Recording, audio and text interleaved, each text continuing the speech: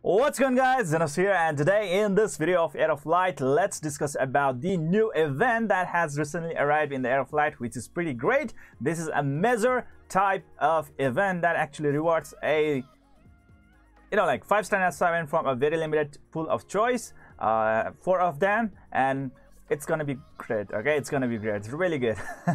anyway, it says, Happy Valentine's Day. Uh, well, today is the 11th February, so three days earlier. Hmm, three days in advance, guys. Complete all missions and receive the various rewards, including 5 star nat 7. Now, this is the real beauty of this game. Oh my god, Steven did this. Like, what? man, I forgot her. Who's she? Oh man, anyways, let's get into the main topic. By the way, hmm, who really she is? I think she is new. Is she really new? man okay so uh, it starts from today that is the 11th of the february till the 9th of march. So that's nearly a month old okay? That's like about 28 days or let's say four weeks of period okay? So that's pretty good. Happy valentine's day. And all you need is love and this rewards complete all missions and get various rewards including a star servant the next one is Pete a Pat mission event, complete missions, and tap claim to receive the rewards. So I really don't think there is actually a chronological order in here, meaning like you have to really sort of like you know uh, complete this uh, mission right out here in order to claim this one. I think you can claim it right away uh, without any problem. So yes, there we go guys. You can actually uh, really don't have to go through a various sort of like process of like even one two three like that kind of phases okay? Which is pretty much very irritating in the first place. And now right over here uh, it's actually going to be very plain and simple straightforward okay? So this is really great. So try to uh, really claim any kind of reward that you have actually been able to unlock okay? So let's try to discuss it right out okay? So if you actually use 1000 valors you will be getting 500 valors in refund Man, okay. The next one is get honor points. So if you get like about 100 honor points, you'll be getting one time skill bond. Pretty easy. Really easy, guys. The next one is join guild dungeon. Okay, so if you join the guild dungeon like 15 times, that will take you like about 3 days in total if you actually use the carrots. So you will be getting 20 times the PvP ticket. Okay, if you go in a row using the carrots, it will take you like 3 days. Uh, that's it. The next one is the joint tower invasion. Okay, so if you join like 30 of them, you will be getting like 1000 times valor. It's pretty easy. I think you can do it within like 3 days. The next one is complete daily mission 7 days. Well, it actually takes 7 days to complete this one. So yeah, it's a bottleneck right out here. Uh, one time skill bond, pretty good. That's good. We have already got like 2 times skill bond right out here, guys. Wow, this is really great. Just think about Summoners War where we have to really do a lot of shit just to get that Devilmon like and right over here you are bombarded with skill bonds just like that. Wow, this is great. Next one is complete weekly missions okay? So right out here you will be getting two times six star epic gear. Now that is great okay? So weekly mission just two times. It's gonna be really great. It's actually can take actually two days. Uh, if you are really between that you know uh, that weekend stuff then you can just complete it within two days. No problem at all. The next one is the use valor okay uh, if you have uh, like if, if, you like use 5000 valors obviously it is actually going to count it right out here as well. You will be getting five times supreme magic stone which is going to be really great especially if you are trying to awaken your units especially your five star nat units. It's going to be pretty important. The next one is use gold. So you have to use like 10 million gold? Oh my god. But hey guys i mean like if you are really spamming on your like Transcendence, you will be using this kind of gold in no time. Transcendence, yes, it actually uses a lot of gold. Another one is obviously the equipment, uh, you know, or let's say gear uh, enhancement uh, in there you will be getting a lot of that one and the next one is you will be getting five times fire water forest three to five star summon stone just like that oh my god this is good Next one is join boss invasion for 10 times, which is gonna be pretty easy. You can do it like within the day, within, uh, I mean like maybe within an hour. You can actually finish this one right away. You will be getting two times rainbow stone. That is gonna be really great. Next one is obtain greater element stone or higher. And I'm actually nearly there. And five times supreme magic stone just like that. Amazing. Next one is get gear from the dungeons. I've already got 187.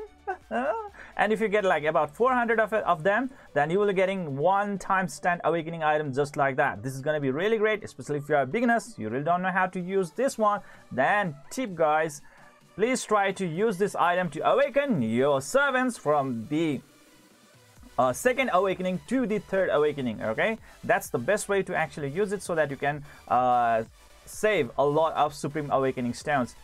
The next one is summon a four star or higher summon oh my god. Okay this is actually gonna be a little bit hard. Mm, well you will be needing a lot of uh, you know like uh, epic summon stone uh, this one right out here. But thing is that like whenever you use this one there is always a guaranteed chance that you will be getting at least a 4 stun at 7 whenever you do a 10 times pull so really don't worry about it guys okay?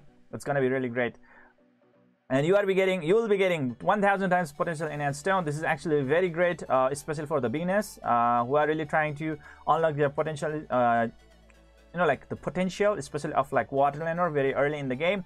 Yes guys you are you will actually require this one. So 1000 potential enhanced stone is going to be really great all right the next one is get honor points. Okay so if you get the honor points of about 700 wow that's a lot of honor points. You have to do a lot of pvp battle guys okay? You'll be getting three times light and dark three to five star summon stone. That's to be great. That's good. Next one is join global infinite pvp battle okay? So if you actually do it for like 150 times it can actually take you some time okay? And if you can do it you'll be getting an instant 6 star evolve item. Wow this is so great especially for beginners. You want to get a 6 star 7 right away there you go guys. This bond can actually get any of your sevens even though they are like 3 star they will get into the 6 star immediately right away instantly. That's why it's the instant 6 star evolve item one of the really overpowered item in the entire game okay? The next one is participate in the boss raid for 20 times. Oh well it's actually pretty easy. You can just do it within a day. Um, maybe i think it might take you about like one hour maybe one hour or two hour maybe okay if you do it in like a rapid succession then it's gonna be really great guys okay? Potential change stones times 50 wow that's pretty good. That's pretty good. And if you somehow manage to clear all these missions that is like about 15 of them if i'm not wrong 15 of them then what's gonna happen is that you will be provided the chance to now select between these four servants now whom to actually select okay? Now that is the main question in here. Whom to actually select among all these four servants okay? Now guys Fire Blavatsky is really one of the really amazing servant, especially for the beginners. If you are a beginner and you really want to make a really good progress, especially in the dungeons, okay, and make a really sort of like a guaranteed type of win, then I think Fire Blavatsky can be a very good choice, okay. But obviously, she is gonna lose all her sparks very soon in the game, as soon as you re enter the mid-game battle, okay. So Fire Blavatsky for early games is like a queen, but as the game progresses on, like she starts to lose her shine. So that's the problem right out there, guys. So if you are a beginner, this is a really good choice. But if you are a mid game and the late game player, obviously Fire Blavatsky is not really a very good choice to uh, look after, okay? The next one is Water Leto.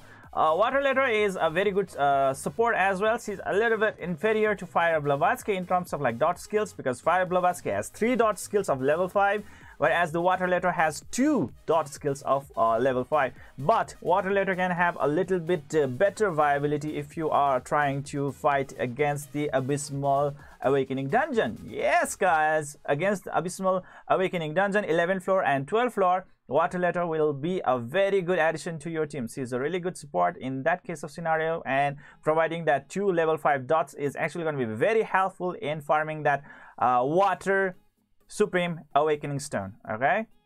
The next one is Forest Halil. She's really one of the amazing healer out there in the game. If, uh, if you really want to get a really good healer, then Forest Halil can be a very good candidate indeed.